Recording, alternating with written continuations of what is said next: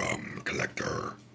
Well, guys, we got the CPU cooler in there, and we got the i5. I'm sorry, i7 2600 in there.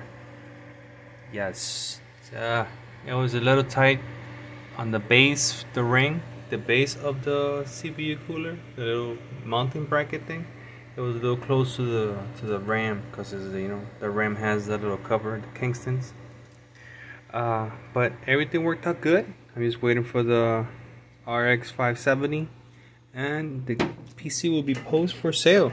Right now I'm just playing around with the R5 430 playing at 34 FPS some Fortnite and seeing some temperatures. Look at the temperature the GPU is at 76. It's getting hot in there. It's at 100% usage. But the temperature of the G, uh, CPU, the i7, is 50 degrees. So yeah, the only bad thing about the cooler is the fan. It's a three pin fan.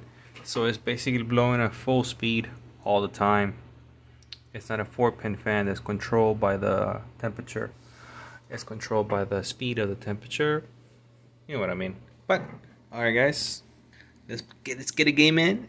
And hopefully tomorrow I'll get the RX 570 8 giggy and I'll post it for sale the white keyboard, mouse, and the 1080p monitor. Alright guys, me, let me know in the comments how much should I charge for it? How much should I ask for? Alright, thanks for watching. Don't forget to subscribe. Not bad though, right? Not bad. From a trash PC to a little gaming PC.